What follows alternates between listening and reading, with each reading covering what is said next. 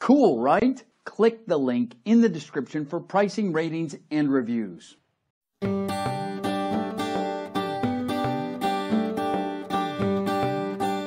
University of Wyoming research projects have a lot of interesting programs going on at all the times. Right now we have an interesting project here at the Greenhouse Research Facility in Laramie.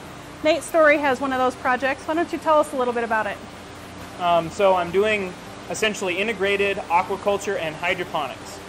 So we grow fish in tanks and then we take the wastewater from fish production and we cycle it through hydroponic elements and the plants clean the wastewater so we can send it back to the fish.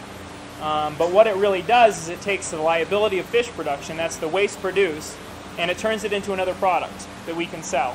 And actually a product that we're finding is worth a lot more than the fish is. Okay. And what kinds of crops are you growing in the vertical gardens?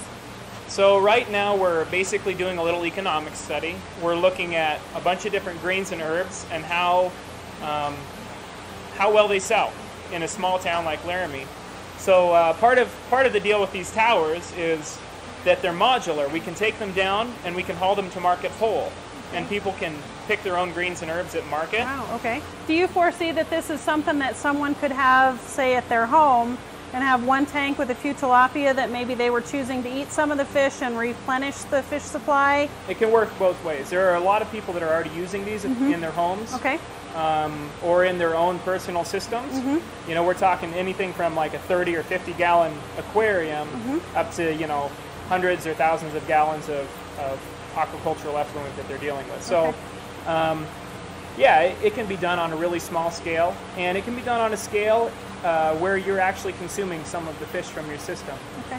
So you feed the fish so that you get the nutrients that you need for the plants. That's right. Okay. And we manage how we feed the fish to maximize the nutrients or to get what we want. Okay. Sometimes we're producing too much, sometimes we're producing too little. Uh-huh. The goal is to find the perfect kind of uh, the perfect ground where we're producing just the right amount for plant production, um, but not so much that we end up with nutrient accumulation in our water. Right. Okay. One of the other aspects that tends to be kind of interesting, we don't see a lot of verticality in most gardening in Wyoming. So part of part of the reason we do vertical is because we're in a northern climate, we have lots of sun, sometimes too much sun. Um, but what but we also have is a really low sun angle in the winter. So in the winter, the sun will come up and it'll just kind of skirt along the horizon and then go back down. And what that means is that angle of light hitting a horizontal crop is really, you know, it really minimizes the amount of light reception those crops get. So by flipping our plane um, vertical, we have almost direct light from that low sun. I'm really looking forward to trying some of these herbs myself. For the University of Wyoming Extension, this has been Donna Quinn from The Ground Up.